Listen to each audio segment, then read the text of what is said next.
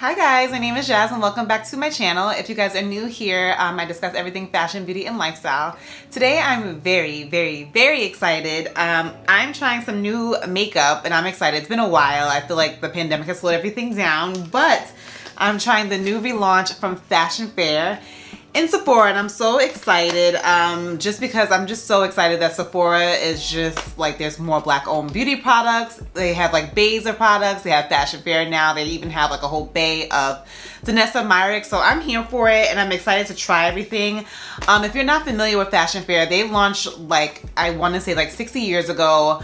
They were probably, I don't want to say the first, but I know growing up with like my mom and like my grandmother, Fashion Fair was like the only products that you can find that featured like complexion products for all skin tones. Like my mom had a darker complexion, so it was hard for her to find makeup and foundation. So she always went to Fashion Fair. And then I know like I had uh, clients that I used to you know, try to help in Sephora and they will always talk about fashion fair and then all of a sudden disappeared or you couldn't find like the products in Macy's. So I'm guessing now they've relaunched um, and now they're in Sephora. Sam Fine is the one of the ambassadors and I'm excited. So I actually went in stores to pick this up at my local Sephora. Yes, my local Sephora. They had a whole bay of products. Um, they have more so like their foundation, setting powder, pressed powder, serum, like uh, primer and a few lipsticks. So I picked up today the Cream to Foundation. I got the shade found, uh, Fine Chestnut.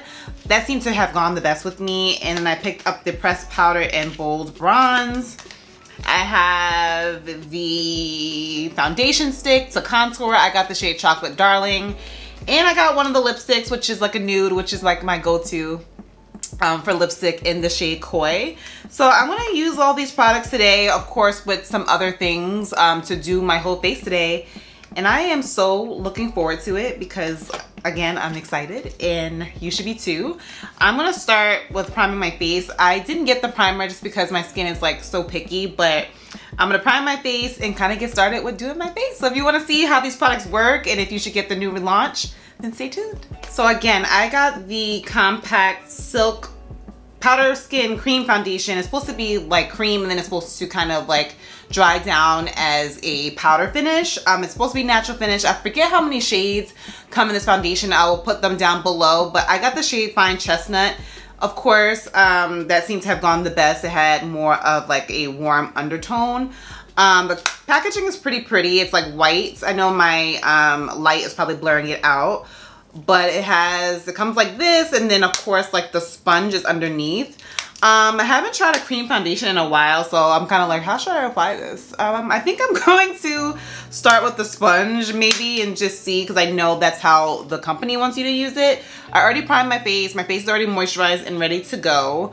Um, I'm interested in seeing the coverage. They say it's medium coverage, but I got like some you know how it is. Like I got some new breakout dark marks here, so I'm hoping it will cover that. So let's see. I'm gonna put my camera in a little bit closer just so we can see here. Um, so let's see. I'm gonna go on the sponge first just to see. So putting on the sponge, the color seems pretty good. I'm probably honestly gonna just use a brush because the sponge is just not working for me. So let me grab a brush and I'm probably gonna go with my finger just to see. I just wanted to feel the texture. It definitely is cream to powder. So if you're like more on the drier side, I definitely would suggest you putting a um, hydrating primer on making sure your face is really hydrated. So I'm gonna just like buff it out a little bit because it does really dry down. Like it's like matte. I don't know what to do, guys. I think I'm gonna go back with the sponge just because the brush wasn't so much working out. So I'm gonna go with the sponge again. Let's see if it covers that darkness there.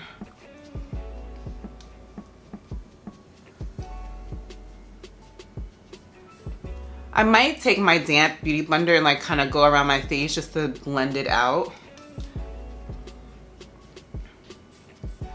But it's definitely more of a matte to powder foundation. I mean, finish for sure. Like, I'm like, hmm, I might have tried to use some more hydrating products, but like kind of just putting it on my face without blending it out.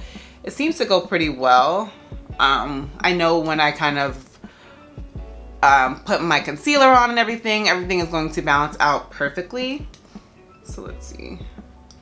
I think I'm gonna go on my Beauty Blender, the back end and kind of just like dab it just to blend it out.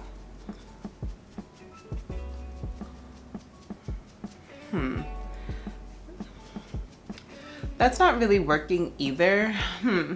I think I'm gonna go back to using a buffing brush. Of course, this is my first time using it, so bear with me because you know, when you're trying new products, you're like, wait, should I use this? Should I use that? So I'm gonna go back in with my buffing foundation brush. It's mad dirty, but I'm gonna go back in with that and just try to blend it out with that. I think I will get better blending with that. So that is something to know about this. So far, it's like, you could put it on with the sponge, but like to blend it out, you definitely need like a, a buffing brush, I feel like. The sponge didn't move it as much as I would have liked for me because it pretty much dries down. And like with the sponge, it kind of just like looks like you just place foundation on your face and you definitely want it to blend out but it is what it claims. It's definitely more of a powder finish. I'm actually curious because I bought the um, the finishing powder, press powder, and I don't want to look dry. So I'm just like, hmm, how should I play this? But let me just keep going with my face and then seeing how it goes. So looking back, it gave me some coverage here. I'm just dipping my foundation directly, I mean my brush directly in the foundation just to see if I like what it does.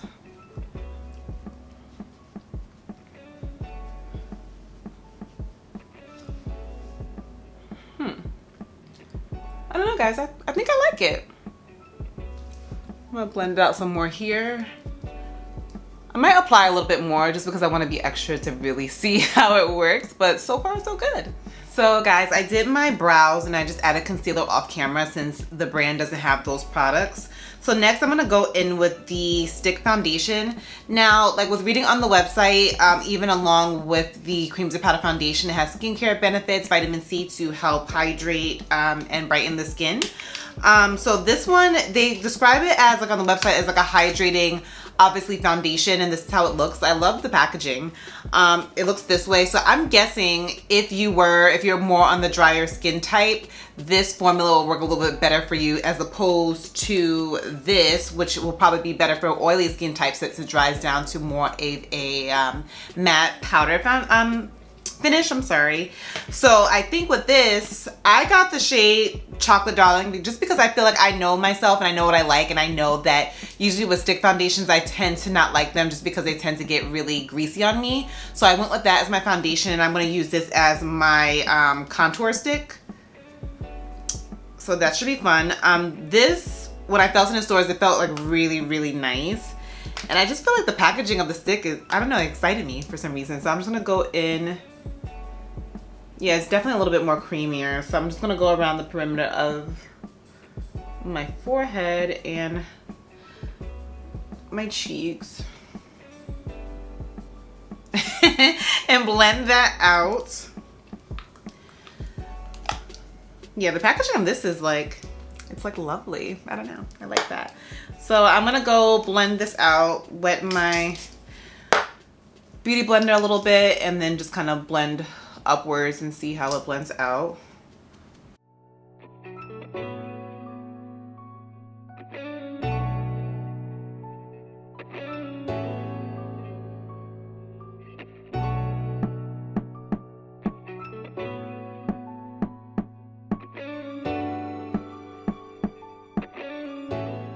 Okay, okay. I feel like you know how when you add concealer, you do your brows and then you contour? I feel like my complexion is coming together. First, I was a little nervous. I was like, oh, I don't know, I don't know. But now I'm like looking at it, I'm like, okay, okay, okay.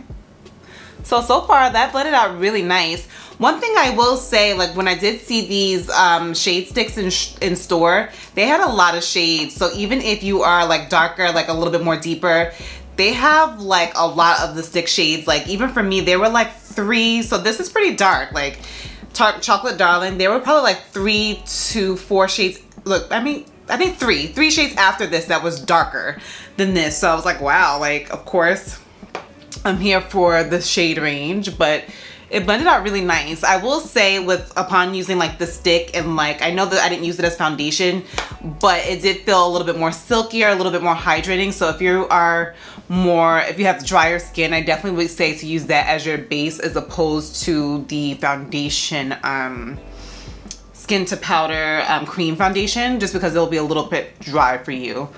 So I'm gonna set my under eyes and then I'm gonna set my face I'm gonna set my under eyes and I'm gonna set my face with the Iconic Press Powder. So with the press powder, they didn't have, they actually have a loose setting powder too. I personally like to set my face with press powder just because, oh crap, I almost broke my nail, but I like to set my foundation more so with press powders. Um, only because like for me, I get oily throughout the day and then like sometimes I like have like go out to, out work and I like to have this in my bag to kind of just touch up. I just feel like it's easier to carry, easier to kind of have your compact and to go with you to look at your face and see what's going on throughout the day. So I picked this up um, other than their loose powder because I have so many loose powders and I just prefer to use press powder. But if you're somebody who wants to set your under eye with their loose powder, they definitely have shades that you can bake with and set your foundation. I want to say they have about five shades of the loose setting powder. So let me set my under eyes with a powder that I already have and then go in with the pressed powder just to see how that works. So I will say guys, like, I don't know about you all, but like, I kind of stopped overly baking. I just kind of just go like this with a brush, kind of just set things up.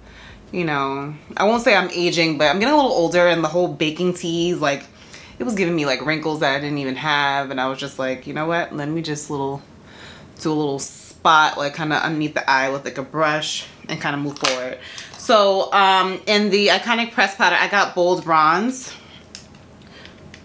Ooh, it's pretty, but I gotta take off this plastic, which looks like this color is a little bit warm. Um, so I'm gonna just take my powder brush and kind of just set my um, foundation.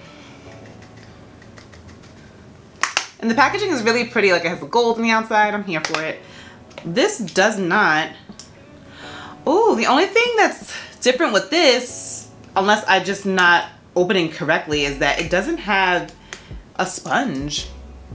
So for me, I like to put it in my purse and kind of just touch up throughout the day. So that could be a challenge unless I just take the sponge from the compact and put it in here.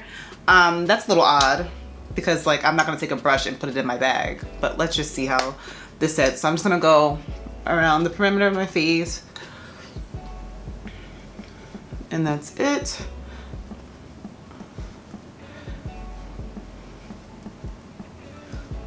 So it definitely mattified everything. I had a little oil going on here. So I'm gonna wipe off my under eyes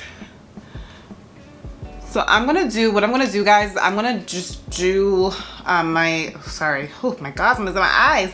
I'm gonna do my eyeshadow off camera and then come back and put the lipsticks and tell you guys my thoughts. Hey guys, so I added, well I did my hair, so hair is herring. um, but I added bronzer and I added blush. Of course, the brand doesn't have those things as of yet.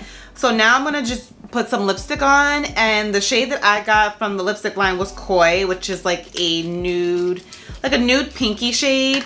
Um, this is the packaging. Of course, um, they have like oranges and berries and reds, but usually like my deeper tones, I like them to be matte and these are more kind of like a creamy satin. Um, so first I'm gonna line my lips. I think I'm gonna use Makeup Forever Limitless Brown, which is more like a darker brown and see what that does for this lip. Just lightly line it. So my lips are lined. I didn't even show you guys the shade of the lipstick. My bad. So this is the shade. Not sure if you can see it, but it's really like a nude. So I'm gonna just put this on now.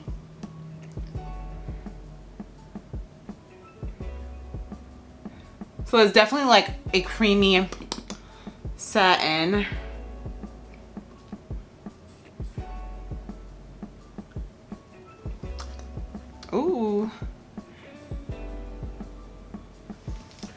Gonna add a little bit more liner. Oh, this is cute. So this is like a magnet. And I just realized as I went to close it, you close it and it kind of like snaps, which is cute. So I'm here for the packaging. The packaging is like, I'm really liking. So let me just add a little bit more liner.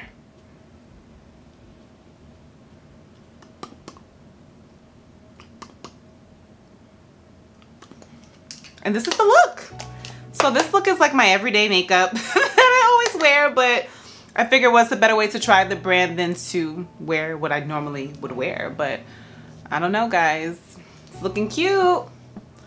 Guys, that is everything from the new Fashion Fair line in Sephora. Like, I know I just kind of put everything on and I'm technically not doing a wear test, but I am super impressed with how everything came out. Like I, one thing about me, like when I try new makeup, like, you know how if you can't pair it with things you normally use or you can't use your old concealer, that's when you know it's probably not the best fit.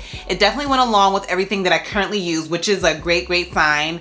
It looks like skin. I feel like I look like myself. Everything is like blended together. Like lipstick is like so like it's like perfect the perfect nude perfect creaminess the foundation again so if you guys where's the foundation? So as far as the foundation, this is definitely more for if you have like more combo to oily skin. I definitely think that if you have more drier skin, unless you are really super hydrated and you make sure you prep accordingly, this might be a little dry for you. I would definitely say go with the stick foundation instead. But uh, so far, like I'm super impressed. I'm like, okay, like sometimes you just don't know, especially when you set with powders and definitely use new things. Like I've had disasters happen, but so far I'm like really happy and I'm excited. Like honestly, I think it's about time that Sephora has more inclusivity in their products and things that they sell. Right now, the foundations, I think to Monday, all foundations in the store are 20% off. So if you definitely were thinking about tr trying Fashion Fair, like get to it tonight. I think I might upload this today. so get to it tonight and to tomorrow and definitely check it out. Um, I'm excited for the brand and seeing where it goes. I'm excited for the history, the nostalgia, just being sold in Sephora. I am so happy. Um, I'm so excited and honored to have tried these products and actually like love them. Like, look. I'm feeling myself, but let me know what you guys think in the comments. Um, let me know if you're going to try the new Fashion Fair. Of course, everything I use will be linked down below in the shades that I got. Um, again, in the foundation, I got shade Fine Chestnuts. And the powder, oh my God, oh my God, guys. I got Bold Bronze. And the stick, I got Chocolate Darling, but I will of course link everything down below. Let me know what you guys think. You like my face? Like, I like it. But let me know what you guys think. Be sure to like this video and subscribe. And until next time, guys, be safe and be well. Bye. Probably caught the end of the video and I wasn't sure if I was gonna do an end of day update, but I was like, you know what? Do an end of day update. So right now it's pretty much 10 o'clock at night. Um, and I already told you guys to subscribe and like, and you still should. Um, but I just wanted to do a quick end of day update to show you how it held up. Like this is my face. I went outside. I was filming in front of hot cameras, um, hot lights, changing my clothes, and like it held up pretty well. Like my face, like if I blot here a little bit, I can still go on and go out and do what I need to do. So it's a go. It's a go. Long lasting. Love it.